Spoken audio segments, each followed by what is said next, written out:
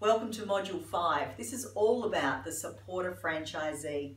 So let me give you an example. Meg Whitman, who is the CEO of eBay, is awesome when it comes to leading her people from the front and really making sure that they are motivated and rally them together. Supporters love people and love to energize the team, but sometimes they can be really challenged when they have to come up with a plan. If you give them the plan, then they'll be able to go ahead and start to achieve it. So let's see now where supporters sit on the talent dynamics square.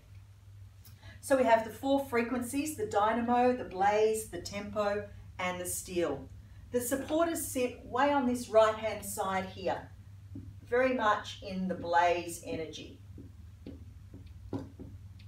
So what does it mean to be a supporter? First of all, let's have a look at the thinking dynamic. Remember that goes across the middle here. Okay, there.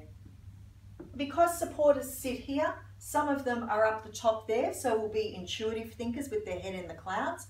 And some of them will also be down more down here, so they'll be more sensory in their thinking, where they've really got their ear to the ground and more grounded and need to experience things to be able to think about them and make decisions.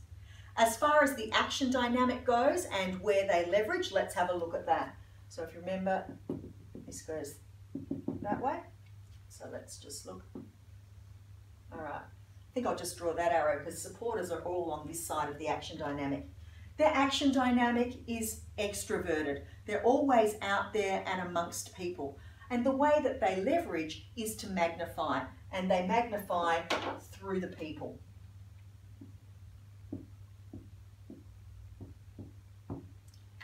Adding value to people either through their intuition or adding value to people through their sense of timing. But the main thing is, is the supporters are out there rallying the people together to start delivering on a vision and a plan.